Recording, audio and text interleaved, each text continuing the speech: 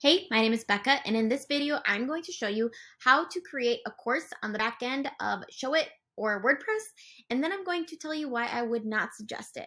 If you're new here, I'm a Showit and Squarespace website in a day designer, which basically just means that I love to help entrepreneurs get their website out and up and running into the universe so that they can start gaining clients and start to get traction on their SEO as well. So first of all, why did I create my course on WordPress and not Showit? If you are on Showit, you know that you get a WordPress blog and Showit at the time did not allow for password protected pages. And so if it's a course that someone's paying for, I of course didn't want anyone to be able to find it. And so I wanted the password protection capability. So I went on to WordPress. I do have some experience, as you can see, designing on WordPress.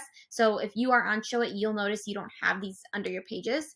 Um, but initially, my website was actually a WordPress website. So um, that's just a little bit of background. Now let's go into the back end of WordPress and I'll kind of take you through how I went about creating this.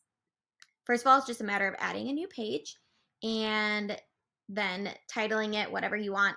I don't necessarily want this to be searchable, so I was not really going into making, you know, you can see Yoast SEO here.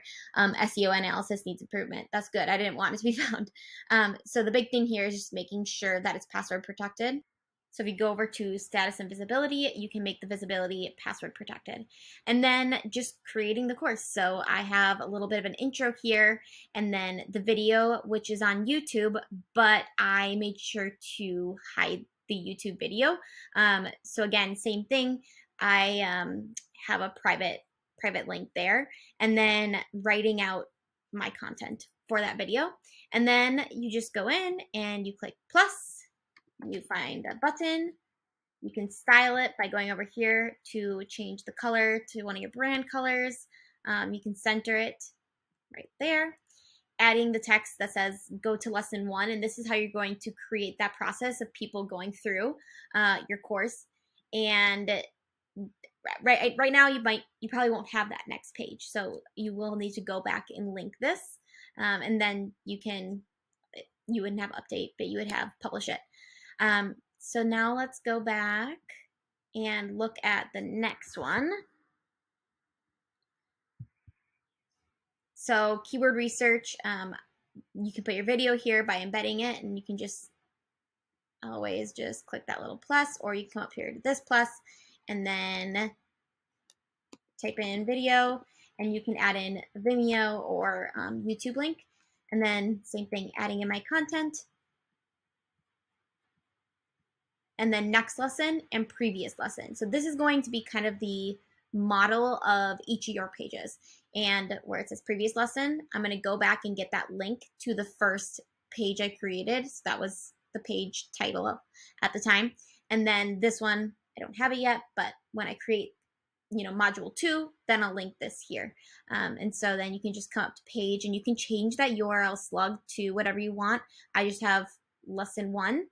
And the way I did it is um, I had it nestled under my Squarespace course. So if you look down here, RebekahReadCreative.com backslash Squarespace dash SEO dash course backslash lesson dash dash one. So the way that you nestle that, come down here, you can kind of see what I did. So if you're on the page, you can come down to page attribution, and then the parent page would be your SEO course, whatever it is, and then it'll go under and then just add the order. So if this is module two, you might want it to be, you know, number two or number three, depending on what other pages you have. So you can see here that all of these pages are password protected. Um, if we go to the final module of the course, and I actually have these videos. Um, I didn't want them in YouTube because I didn't want them to be found at all. So I have this in a Google Drive. So that's another way of doing it. Just have a button and upload it to Google Drive if you prefer. Um, the content, and then I have this little checklist. You could always like upload a PDF if you wanted. Um, and then previous lesson, go home, and here's a button for like a Facebook group. So it's really just a matter of creating buttons that have a forward and a back, and um, then of course having your video if that's a part of your course. Okay, so that's more or less a quick little run through. But now, why would I not suggest doing this?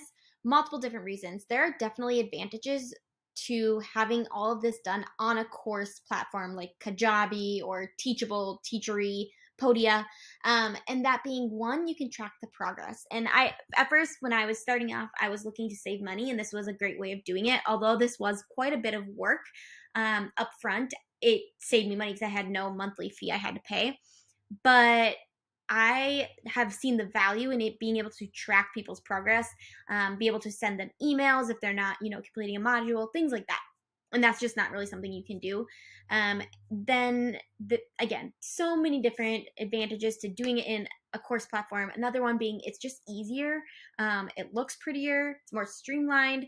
People know most people that take a course have done multiple courses and so they kind of know how that back end looks and this just looks different. And so my goal with a course is to get people to go through the course because i want them to see the benefit and like the wins that they can have and they're if they don't finish the course or they don't go even halfway through it they're not going to have those wins or implementation in this case implementing seo on their website. So i felt like there was more of a success rate um, by creating it on a course. So i chose podia I'm not going to really go into like why, um, but really quick, it's a user so user friendly, so so user friendly.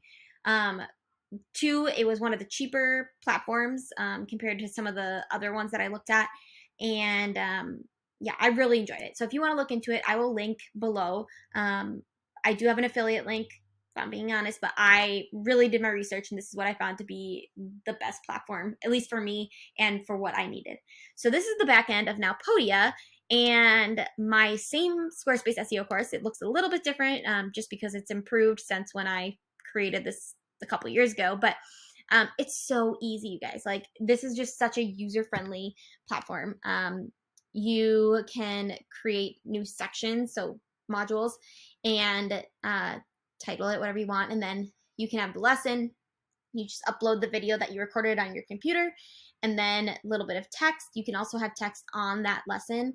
Um, so depending on how you want to do it, it's all up to you. I just have a little bit of text, and I just say like hit the right arrow to go to the corresponding um, like information, and then you know adding bonus videos, whatever you want. Like it's just so streamlined, and I love that about it.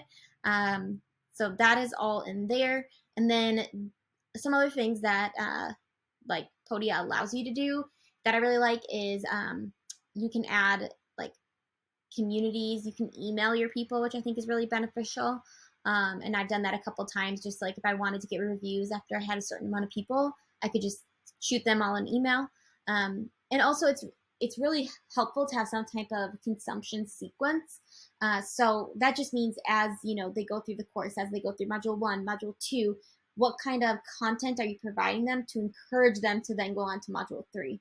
So I have linked um, by using a Zap Zapier. I've linked my like when somebody purchases my Podia course, the Zapier whatever tells them um, on Flodesk, which is my email marketing platform, to go into this uh, series, I guess, of a workflow. And they, I do have my emails through Flodesk, um, just because that's how it was done prior. But you could do that through Podia as well.